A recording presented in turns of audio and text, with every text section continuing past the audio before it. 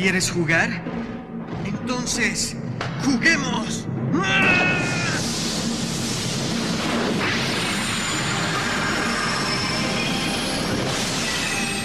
No puede ser, hizo una transmutación sin el círculo.